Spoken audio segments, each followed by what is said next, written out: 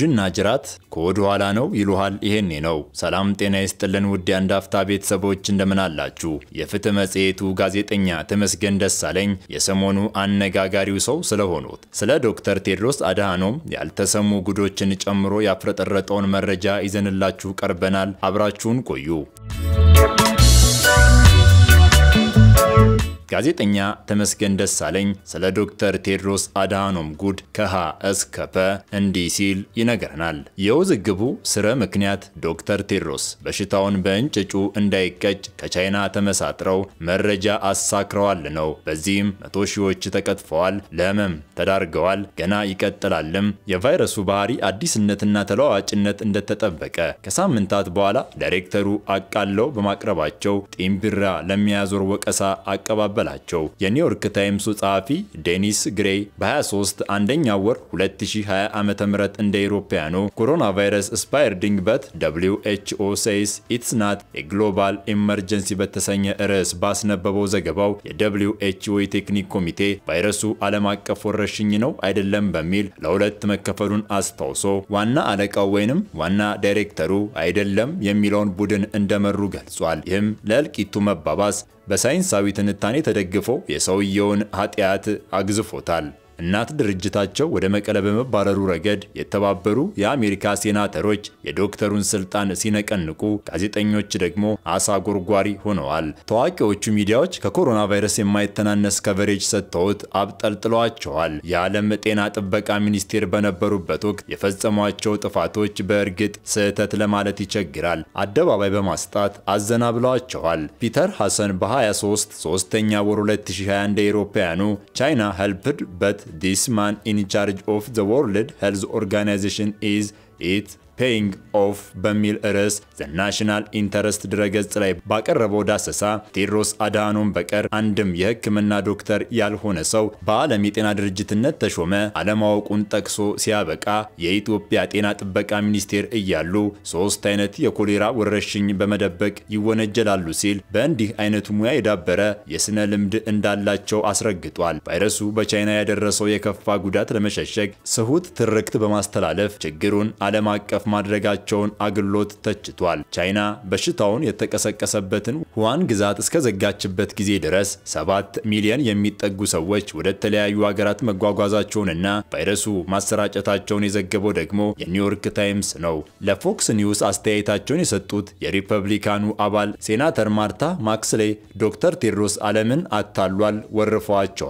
ከተራራ የገዘፉ ማስረጃዎች እየታዩ ቻይና በሚገባ እንደተቆጣጠረችው አስመስለው ማወደሳቸውንም በማስታወስ ኮንነዋል። አንድ ጥናት ወረርሽኙ ከተቀሰቀሰ ሶስት ሳምንታት በፊት ይፋ ሆኖ ማስጠንቀቂያ ቢሰጥ ኖሮ እስከ 95 በመቶ ጉዳቱን መቀነስ እንደሚቻል የጠቆመው ላይ ቻይናውያን አክቲቪስቶች በውሃን ግዛት ኮሮና የፈጃቸው ሰዎች ቁጥር እነ ቴድሮስ እንዳያራግቡት 3300 ሳይሆን 42000 ማለፉን መዘገባቸው ተደምሮ ስርየት የለሽ ጥፋት አድርጓቸዋል። በእናቱ ስም ያልተጠቀሰ ቻይናዊ ሐኪም Kyodo News ለተባለ የጃ ጃፓን ሚዲያ ዶክተር ቴድሮስ ከቻይና መንግስት ጋር ያለው ቁርኝነት ስር የሰደደ እንጂ አዲስ አይደለም ማለቱ ለእኛም አዲስ ባይሆንም ጥቂት ነገሮችን ለመጨማመር ወደ ሀገር ቤት እንመለስ። ምክንያቱም ስልጣኑን የያዙ ተረኞች በህዝባቸው ላይ የቱንም ያህል በደል ፈጽመው ጅምላ ጨፍጭፈው በገፍ መዝብረው ዓለም አቀፍ መድረክ በአንቀልባ ይቀበለናል በሚል እንዳይቀመጡና ቀይ መብራት ይሆንባቸዋል። በእርግጥም የዶክተሩ ሕጸጾች መዘርዘሩ ማን ያውቃል? ነገ ደግሞ ጌታቸው አሰፋ በተባበሩት መንግስታት ድርጅት የደህንነት አማካሪ ሆኖ ተሾመ ከሚል ዜና ሊታገድ ይችላል። ጠቅላይ ሚኒስትር አብይ አህመድ ፈተናውን ገና አላለፈም። ነፃ ተቋማትን የሚያዋልዱ ስትራቴጂዎች ለ tragedy ቀርቧል። ምናልባት ከሽግግር ይልቅ በሽግግር አሽተውን ሲያበቁ የሴጣን ጆሮ አይስማና ኖቤሉን ቀብድ አስይዘው አንቶኒዮ ጉቴሬዝን ለመተካት ቢንደረደሩስ? ለእንዲህ አይነቱ ክብር የሚመጥን ስራ ዛሬ እንጂ ነገ አለመሆኑን ለማስታወስ የቀድሞ ጤና ጥበቃ ትሩፋቶችን ፋይል ማገላበጡ የቡዳ መድኃኒት ነው። ተውተው ከኢትዮጵያዊነት ጋርማ አታያይዘው። እንዲያማ ቢሆን ዶክተር ቴድሮስ በስራ አስፈጻሚነት የመሩት ኢህአዴግ ለኮሎኔል መንግስቱ ኃይለ ማርያም ከአዳኝ ስኳድ ይልቅ አገናኝ ሐውልት ባቆመ ነበር። እንደ አበበ ቢቂላ በትጋትና ፍጋት የመጡ አታስመስለዋ። በእርግጥም የጨፍጨፋ ሚዛን በሰለባ እንጂ በተራፊ ሳፋ ሆኖ አያውቅም። ሊገሉኝ ነው በጥቁርነት የተሳለቁ ለቅሷቸውንም እንደ ማቅለያ ይዘን እንለፋቸው ብንል ለአራት ኪሎ መጥፎ መልክ ይሆናል። አይነቱ ንቃቃት መሰንቀሩ አይቀሬ ነው።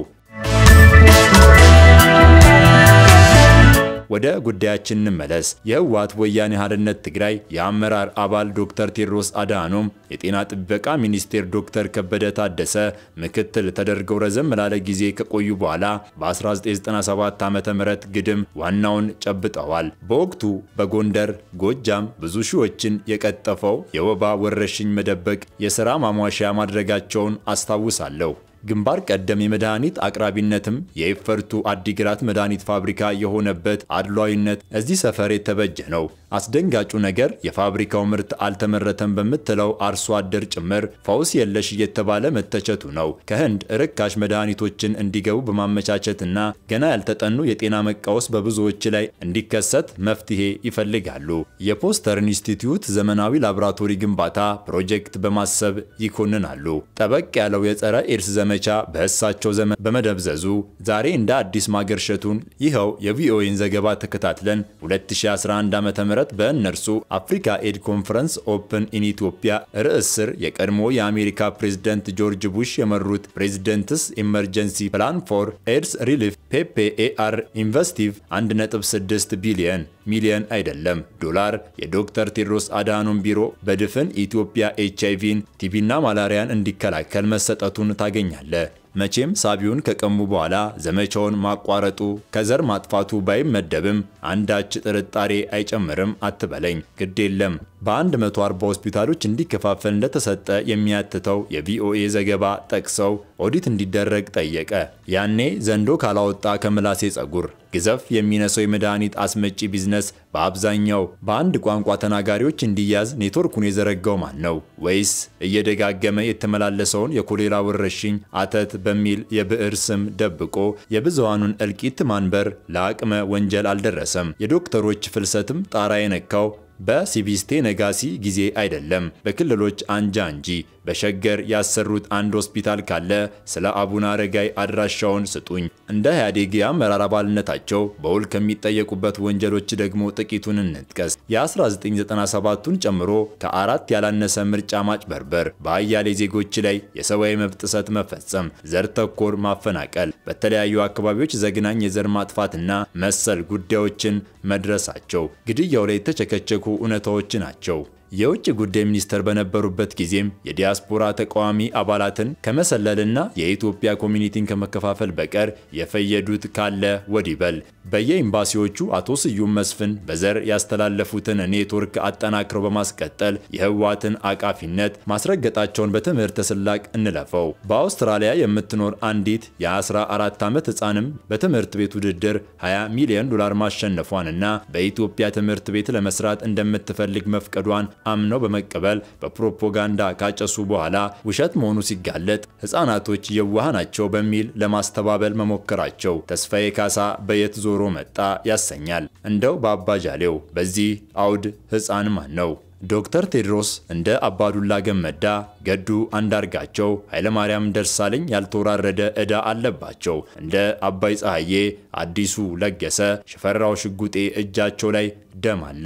ሆኖም ዓለም ቲያትር ናት እንዲሉ ከፍርግርጉ ሾልከው የደብሊው ኤችኦ ዳይሬክተርነትን ጠቅልለዋል። መቼም የታመሙ እናቶች በቃሬዛና በሰው ትከሻ ረዥም መንገድ ሲኳትኑ ከመዋል ያልታደገ የህብረተሰብ ጤናን የመጠበቅ ስራን አጓላማውታ ያደረገ ተቋምን መሪን ስኬታማ ተብሎ እዚህ መድረሱ ትንግርት ነው። የምርጫ ቅስቀሳው በሎጂስቲክ መሳለጡን አልዘነጋሁትም። የ campaign ኡ ዋና መሪ ከድል በኋላ ዋና አማካሪ ዶክተር ሰናይት ፍስሐ በጤና ጥበቃ መስሪያ ቤት ተጽዕኗቸው ምንድን ነው? ጥያቄ ነው። የተሻረውን ዶክተር አሚር አማንን ሱሳን ቶምሰን ቡፌት ፋውንዴሽን ሲያስቀጥሩ የተሾሙትን ዶክተር ሊያ ታደሰ ገብረ መድህንን ደግሞ promote አድርገዋል። በሚካኤል ስዑል ተረዳው ጎበዝ ዜግነት ጥቁርነት በሚል ግርድፍ ቃላቶች አንሸነጋገላ።